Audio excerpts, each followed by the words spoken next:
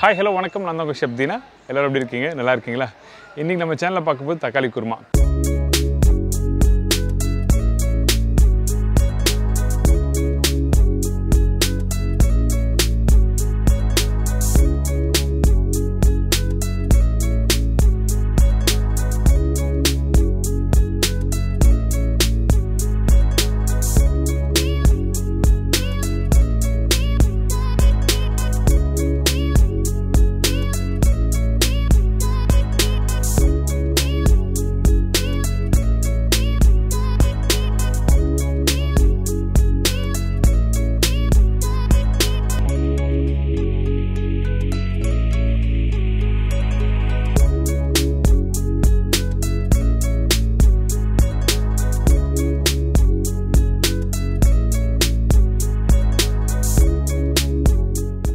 இந்த தக்காளி குருமா பொறுத்த வரைக்கும் வெங்காய தக்காளி நல்லா வதக்கிட்டு அந்த மசாலா நல்லா கெட்டியாக வந்த பிறகு அரைச்சி வச்சுருக்க அந்த பேஸ்ட்டை போட்டு ப்ரிப்பரேஷன் கம்மி பண்ணுவோம். இப்படி பண்ணும்போது என்னென்னா உங்களுக்கு ஒரு நான்வெஜ் சாப்பிட்ற ஒரு ஃபீல் கிடைக்கும்.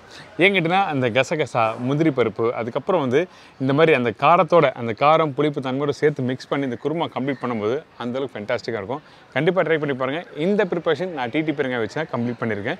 இப்போ இந்த டிஷ்ஷுக்கு தேவையான பொருட்கள் பார்த்தலாமா தேங்காய் அரைமுடி பச்சை மிளகாய் நாலுலேருந்து அஞ்சு நம்பர் உடச்ச முந்திரி பத்துலேருந்து பதினஞ்சு நம்பர் கசகசா ஒரு டீஸ்பூன் சோம்பு ஒரு டீஸ்பூன் பெரிய சைஸ் வெங்காயம் ரெண்டு நம்பர் பெரிய சைஸ் தக்காளி அஞ்சு நம்பர் இஞ்சி பூண்டு பேஸ்ட் ஒன்று டேபிள் ஸ்பூன் டிட்டி பெருங்காயம் கால் டீஸ்பூன் மஞ்சத்தூள் கால் டீஸ்பூன் சில்லி பவுடர் கால் டீஸ்பூன் தனியா பவுடர் முக்கால் டேபிள் ஸ்பூன். கருவேப்பிலை தேவையான அளவு கொத்தமல்லி தேவையான அளவு உப்பு தேவைக்கேற்ற நெல்லெண்ணெய் குக் பண்ணுறதுக்கு தேவையான அளவு. இதாங்க இந்த ப்ரிப்பரேஷன் தேவையான பொருட்கள். இன்றைக்கி நம்ம ஷெஃப் தீனாஸ் கிச்சனில் ஃபுல்லாக செம்ம வாசனையோடு இருக்க போகுது. ஏன் கேட்டிங்கன்னா டிடி பெருங்காயத்தை யூஸ் பண்ணி சமைக்க போகிறேன் டேஸ்டி டேஸ்டி பொருட்களுக்கு அறிமுகம் தேவையில்லை. அவங்க நூற்றி இருபத்தஞ்சி வருஷத்துக்கு மேலே நம்ம சமைக்கிற உணவில் சுவை கூட்டிகிட்டே இருக்காங்க.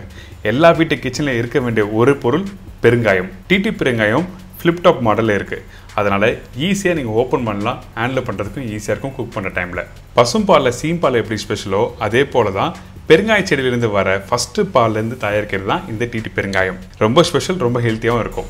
டிடி கட்டி பெருங்காயம் லேசாக இருக்கிறதுனால ஈஸியாக நீங்கள் கட் பண்ணி சமைக்கும் போது யூஸ் பண்ணிக்கலாம். இந்த பெருங்காயம் எதுக்காக சமைக்கும் போது வந்து யூஸ் பண்ணுறேன்னு கேட்டிங்கன்னா நம்ம சாப்பிட்ற உணவை நல்லா செரிக்கவும் செரிமான மண்டத்தை சீராக வைக்கவும் பெருங்காயம் ரொம்ப அவசியம். அது மட்டும் இல்லை நம்மளோட குடல் சுத்தம் தான் நம்மளோட உடல் சுத்தம்.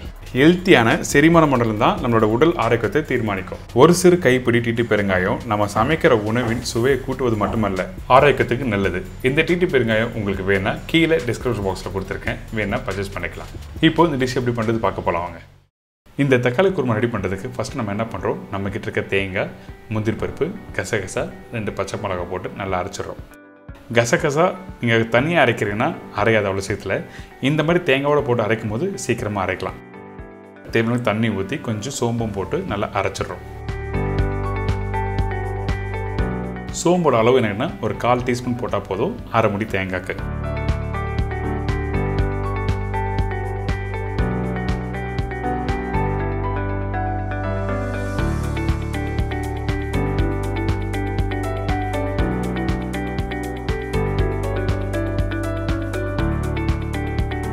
இப்போது இது நல்லா ஃபைன் பேஸ்ட்டாக அரைச்சி ரெடி பண்ணி வச்சுருக்கோம்.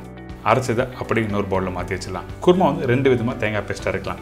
தேங்காய் வந்து கொஞ்சம் குறை குறைன்னு அரைக்கும் போது இந்த வெஜிடபிள்ஸ் குருமா பண்ணோம்னா அந்த டைமில் யூஸ் பண்ணலாம். ஆனால் தக்காளி குருமா பண்ணும்போது நல்லா ஃபைன் பேஸ்ட்டாக அரைச்சிருக்கணும். அடுத்தது மஞ்சளில் கொஞ்சம் எண்ணெய் போட்டிருக்கேன். இந்த எண்ணெய் சூடான பிறகு சோம்பு பட்டை லவங்கம் ஏலக்காய் பிரிஞ்சி இலை இதெல்லாம் தலைப்பு போட்ட பிறகு பச்சை மிளகாய். நான் பச்சை மிளகாய் நாலுலேருந்து அஞ்சு பச்சை மிளகாய் சொல்லியிருக்கேன். உங்களுக்கு காரத்துக்கு ஏற்ற மாதிரி நீங்கள் போட்டுக்கலாம். இதுக்கு பிறகு கருவேப்பிலை வெங்காயம். இந்த வெங்காயம் போட்ட பிறகு நல்லா வதங்கணும்.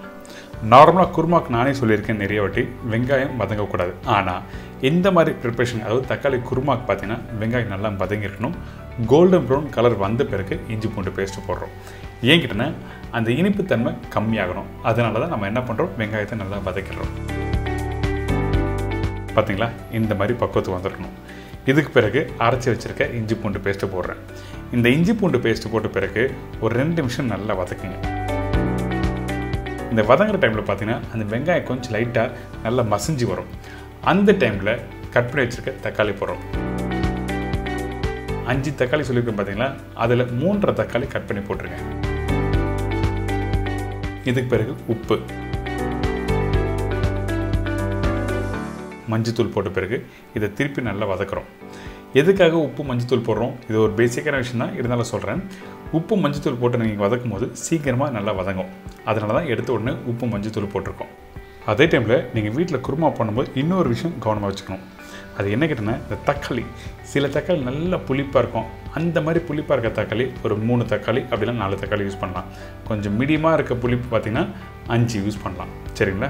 அதனால் கரெக்டாக பார்த்து நீங்கள் யூஸ் பண்ணுங்கள் இப்போ இந்த தக்காளிலாம் போட்ட பிறகு இது தொக்கு மாதிரி வதக்குறோம். நீங்கள் எப்படி வீட்டில் தக்காளி தொக்கு பண்ணுவீங்க?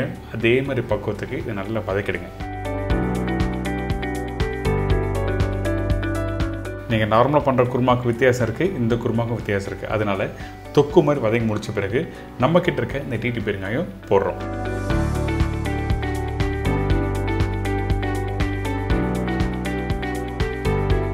தேவையான அளவு தண்ணி ஊற்றி இந்த மசாலா நல்லா குக் பண்ணுறோம்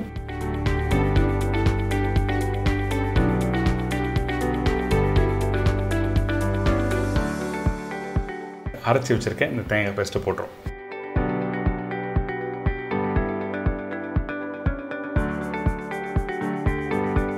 நல்லா மிக்ஸ் பண்ணுங்கள் மிக்ஸ் பண்ணிட்டு திருப்பியும் தண்ணி ஊற்றி நல்லா கொதிக்க விடுறோம். அந்த தேங்காயோட பச்சை வாசனைலாம் போன பிறகு அப்படியே எடுத்து சாப்பிட்டீங்கன்னா அந்த அளவுக்கு சூப்பராக இருக்கும். நிறைய பேர் நான்வெஜ் சால்லாம் சாப்பிடணும்னு சொல்லி ஆசைப்படுவாங்கல்ல அந்த டைமில் இந்த மாதிரி குருமா நீங்கள் வீட்டில் ட்ரை பண்ணி பாருங்கள் உங்களுக்கு சூப்பராக இருக்கும். அந்தளவுக்கு ஒரு ஃபென்டாஸ்டிக்கான குருமா தான். நீங்கள் குருமா நார்மலாக பண்ணும்போது நிறைய நான் சொல்கிறேன் வெங்காயம் தக்காளி வதங்காமல் கொதிக்க விட்டு அதுக்கப்புறம் தேங்காய் பேஸ்ட் போடணும்னு சொல்லியிருப்பேன். ஆனால் இந்த மாதிரி தக்காளி குருமா பண்ணும்போது கண்டிப்பாக நல்ல வெங்காய தக்காளியை வதக்கிட்டு அதுக்கப்புறம் நான் சொன்ன மாதிரி ஸ்டெப் பை ஸ்டெப்பாக வீட்டில் ட்ரை பண்ணி பாருங்கள் வீட்டில் எல்லாருக்கும் பிடிக்கும். இப்போ கொஞ்சம் கொத்தமல்லியும் போட்டிருக்கேன். அதே டைமில் மூடி போட்டு ஒரு பத்து நிமிஷம் குக் பண்ணி எடுத்திருக்கேன். ஃபைனலாக திருப்பி முழுசாக கட் பண்ணி வச்சுருக்க தக்காளி போட்டிருக்கோம். அதாவது ஒன் பை ஃபோர் இல்லை ஒன் பை சிக்ஸாக கட் பண்ண தக்காளியை கொஞ்சம் கொத்தமல்லி கருவேப்பிலை கொஞ்சம் நல்லெண்ணெய் ஊற்றி நல்லா மிக்ஸ் பண்ணிவிட்டு அதுக்கப்புறம் எடுத்து சர்வ் பண்ணால் சப்பாத்தி பூரி தோசை இட்லி ரைஸோடு சாப்பிட்றதுக்கு அந்தளவுக்கு அல்டிமேட்டாக இருக்கும்.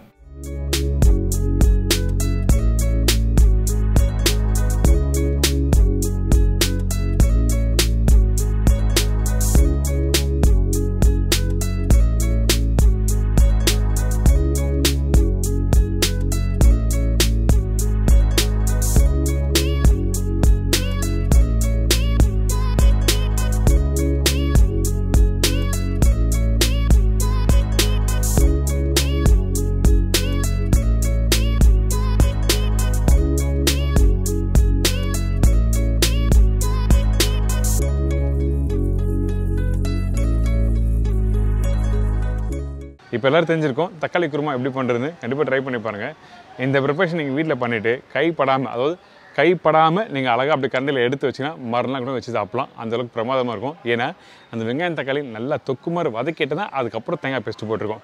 இதே மாதிரி நாளைக்கு இன்னொரு டிஷ்ஷை சந்திக்கிறேன். நன்றி வணக்கம். சி பாய் டேக்கர்